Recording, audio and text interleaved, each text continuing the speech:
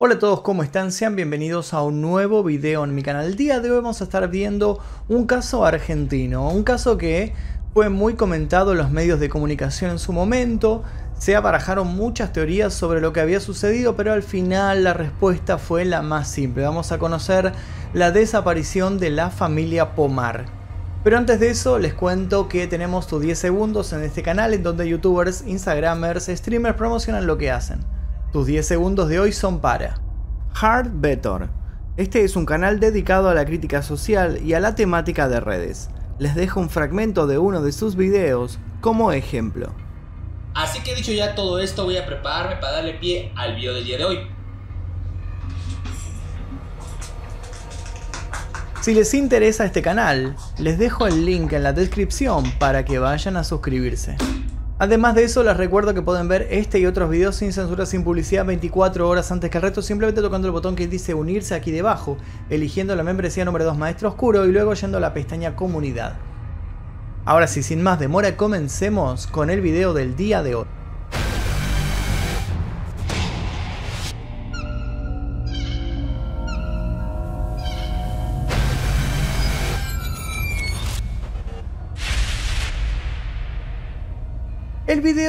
No solo trata sobre la desaparición de la familia Pomar, sino de cómo los medios trataron esta noticia, de cómo fue la búsqueda y de todas las hipótesis imposibles que aparecieron. En esta historia, hubo un auto con un padre y una madre de familia, junto a dos niñas, una de 3 y otra de 6 años. La familia Pomar estuvo desaparecida por más de tres semanas. Se habló de un escape hacia otro país por temas fraudulentos. Se habló también del ataque del padre hacia los demás integrantes de la familia, de un secuestro, de un ajuste de cuentas, de venta de drogas. Y como si todo esto fuera poco, también se habló de la teoría de una abducción extraterrestre. 24 largos días, la policía bonaerense y los investigadores judiciales tardaron en darse cuenta que todo el trabajo que estaban haciendo era un desastre. La familia Pomar estaba integrada por Fernando Pomar, de 40 años, su mujer Gabriela Villagrande, 37, y sus dos hijas, Candelaria y Pilar, de 6 y 3 años. Fernando Pomar estaba desempleado y tenía una entrevista laboral como técnico químico en una importante empresa de biofertilizantes e insecticidas agrícolas. Ese sábado los vecinos los vieron preparar su Fiat Duna Weekend para el viaje. Para el barrio esto era parte de una rutina habitual, ya que eran oriundos de Pergamino. La pareja solía ir a esta ciudad casi todos los domingos, donde sus padres y hermanos los esperaban. Antes de salir, las hijas del matrimonio, Candelaria y Pilar, jugaron frente a la casa. Franco, el hijo del primer matrimonio de Gabriela, que para ese entonces tenía 13 años, ayudaba con los últimos ajustes. Franco no viajó porque tenía que rendir un examen y quedó a cargo de un amigo de la familia. Al Duna subieron Fernando, Gabriela, las dos pequeñas, su perro caniche y emprendieron el viaje. Al día siguiente, la familia de Fernando y Gabriela se empezó a preocupar. Los Pomar no habían llegado a su destino y tampoco se habían comunicado por teléfono. María Cristina Robert, familia de Gabriela, comentó en una entrevista del diario Perfil. En ese momento yo estaba esperando en mi casa que tocaran el timbre. Sigo esperando. Ellos habían sido vistos por última vez el 14 de noviembre de 2009 cuando salieron de su casa en la localidad bonaerense de José Mármol con destino a Pergamino. Al comenzar la investigación lo primero que se encontró para obtener una columna vertebral del caso fueron las declaraciones de los allegados de la familia. En el testimonio de la hermana de Fernando Pomar estaba una guía clave para encontrar a la familia, pero no lo supieron ver. Salieron a las 7 de la tarde de José Mármol rumbo a Pergamino. Nos mandaron un mensaje diciendo que alrededor de las 22 ya estaban ahí. Nunca llegaron. La ruta provincial 31 era el camino habitual que tomaba la familia para llegar a la casa de sus familiares. Más adelante van a saber el peso que tiene este dato en la resolución del caso. Mientras tanto, los canales de noticias se hacían eco de lo sucedido, pero en vez de preocuparse y ocuparse, repetían una frase que alimentaba el amarillismo que los abrazaba. Es como si la Tierra se los hubiera tragado. Al pasar los días, los medios de comunicación escritos y televisivos llegaron a las primeras hipótesis. El día 20 de noviembre de 2009 apareció una secuencia de imágenes captadas por las cámaras de seguridad del peaje ubicado sobre la Ruta 7, cerca de la ciudad de Luján. Ese registro fotográfico mostraba a Fernando mientras pasaba con su coche sin nada que llamara la atención. Las fotos no reflejaban anomalías claras, aunque ponían en duda la presencia de Gabriela y de las dos nenas. Sin embargo, varios periodistas analizaron el gesto de la cara de Fernando, algunos decían que pedía ayuda, otros que estaba gritando, incluso cuestionaron las formas y maneras con que la gente ponía la mano a la hora de pagar en los peajes. Discutían absolutamente todo por el simple y el cruel hecho de mantener a la audiencia mirando sus programas. Durante los días siguientes, fuentes policiales informaron sobre la existencia de presuntos llamados de personas que aseguraban haber visto a la familia en la zona norte de la provincia. Los medios informativos seguían alimentando el circo mediático. Miguel Maldonado, psiquiatra y especialista en política criminal, dijo que habría que evaluar la posibilidad de que Fernando Pomar estuviese vinculado con la cocina de la droga, atento a su profesión de ingeniero químico. Como ingeniero químico con problemas económicos es un individuo altamente atractivo para quienes instalan cocinas de drogas, dijo Maldonado a Radio Provincia. Los expertos saben que un camión mudancero grande en la ruta puede subir el vehículo, le pueden poner bultos delante y se lo llevan incluso, hasta lo pueden sacar del país porque las fronteras de Argentina son muy porosas. Incluso agregó que Fernando Pomar podría haber estado amenazado por algo más que las deudas de tipo inmobiliario y con la ayuda de su esposa habían decidido huir para refugiarse en algún lugar. Algo realmente increíble para el resultado del caso. En medio de estas versiones, un helicóptero y una avioneta sobrevolaron la ruta número 7, la número 8 y los caminos alternativos, sin resultados positivos. También se intensificó la búsqueda en 25 de mayo, San Carlos de Bolívar y la zona de Saladillo. Mientras tanto, Cristina Robert, la abuela de las niñas, iba a los canales de noticias para pelear por la búsqueda de su familia. Mi hija, únicamente dopada o amordazada, podría estar sin comunicarse con su hijo, que ama con todo su corazón de madre y que quedó en Buenos Aires porque tenía que rendir una materia. El 24 de noviembre se encontró un segundo video donde se podía ver a toda la familia. Era en la estación El Rodeo, que quedaba en Luján. Tras la difusión de estas imágenes nacieron nuevas hipótesis relacionadas con el hallazgo de un pantalón manchado de sangre, y con un perro muerto que se creía que era el caniche de los Pomar. Sumado a esto también se dijo que la familia podría haber estado en un camping de Cenillosa, Neuquén, y que la señal de uno de sus celulares había sido captada en Chivilcoy, provincia de Buenos Aires.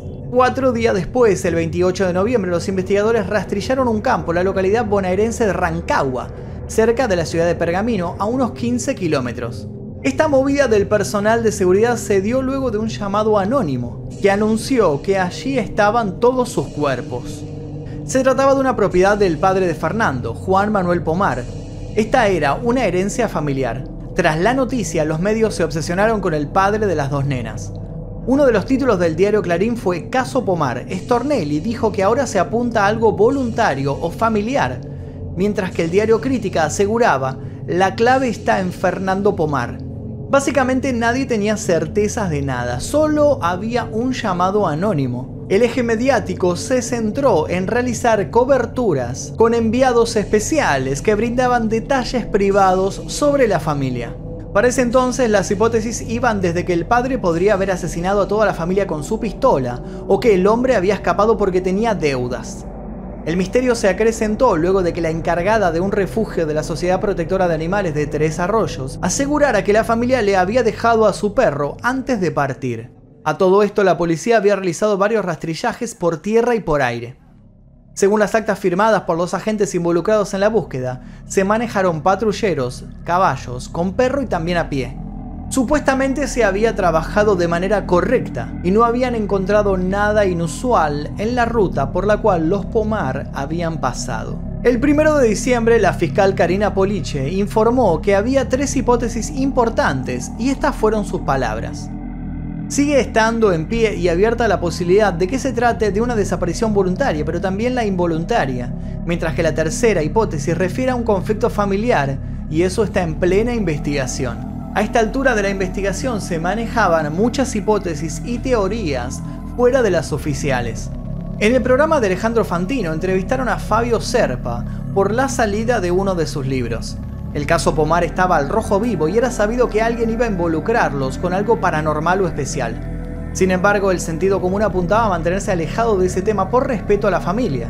La mayoría de los panelistas se mantuvieron al margen, no querían ser impertinentes, pero la pregunta corrió por cuenta de la modelo estable del programa, Pamela David. Entre las cuestiones sobre la familia Pomar, el ufólogo respondió, la abducción de la familia Pomar es posible. Todo servía para alimentar el morbo de la audiencia.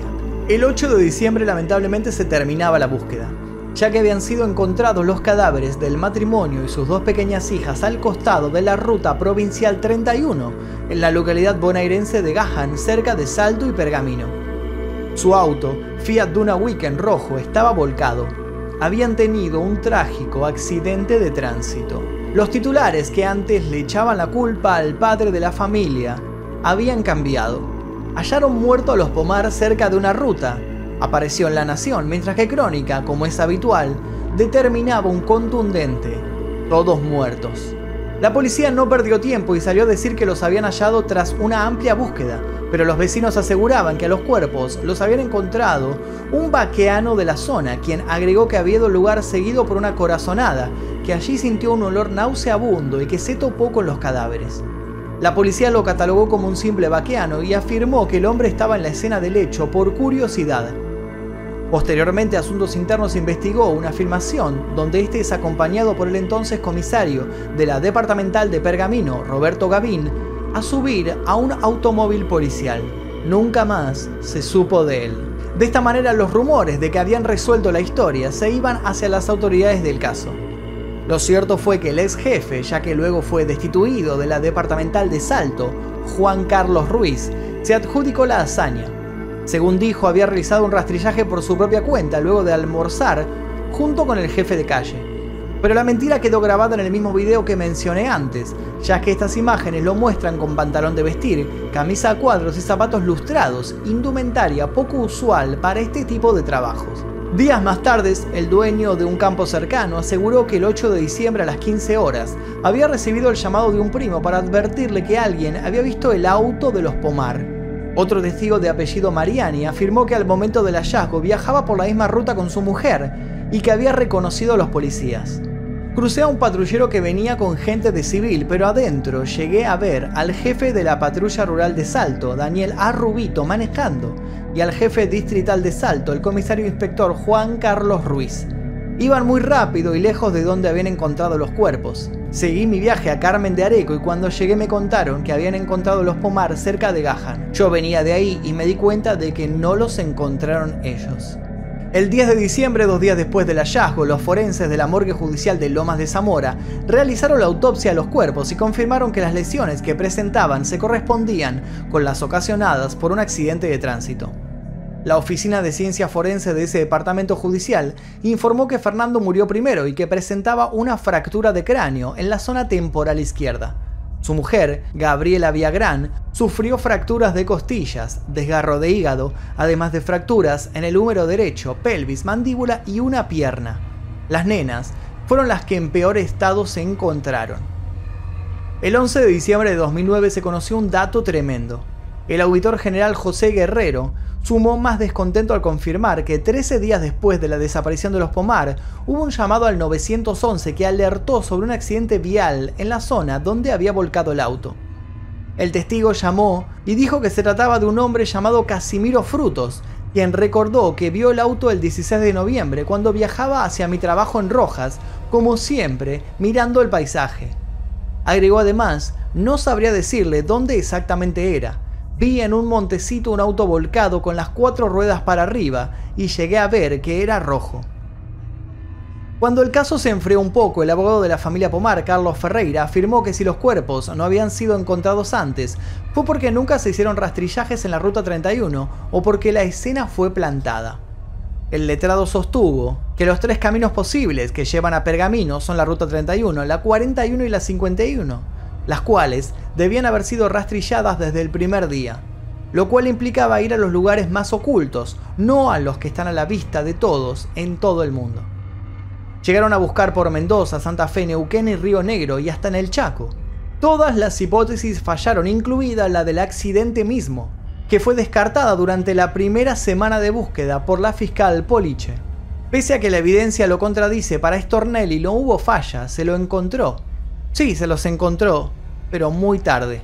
El comisario inspector que supuestamente encontró los cuerpos y el auto aseguró que la única manera de encontrar ese vehículo era chocándoselo, y admitió que el lugar había sido previamente rastrillado por aire y por tierra.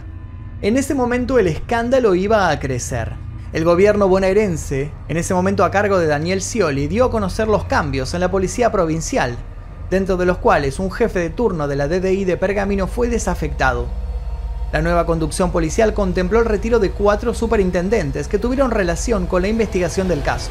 En noviembre de 2017, ocho años más tarde, el juez correccional Carlos Pico del Departamento Judicial de Pergamino condenó a dos policías por la desidia en la que incurrieron al haber falsificado actas de rastrillaje para localizar a la familia Pomar. La pena era de un año y dos meses de prisión en suspenso para el excomisario Daniel Fabián Arrubito y a un año de prisión en suspenso para el exteniente Luis Quiroga por el delito de falsedad ideológica de instrumento público. Como suele pasar con la justicia, poco tiempo después los condenados fueron absueltos. Y hasta aquí la historia de la familia Pomar, una historia que tuvo un montón de hipótesis, pero al final la explicación más simple era la acertada. Espero que les haya interesado. Si les interesó, les pido por favor que se suscriban. Si es que todavía no lo hicieron, activen notificaciones. Recuerden que pueden ver este y otros videos sin censura, sin publicidad, 24 horas antes que el resto. Simplemente tocando el botón que dice unirse aquí debajo. Eligiendo la membresía número 2 Maestro Oscuro y luego yendo a la pestaña Comunidad. Eso es todo por el día de hoy. Mi nombre es Magnum Mephisto. Nosotros nos veremos seguramente en el próximo video. Adiós.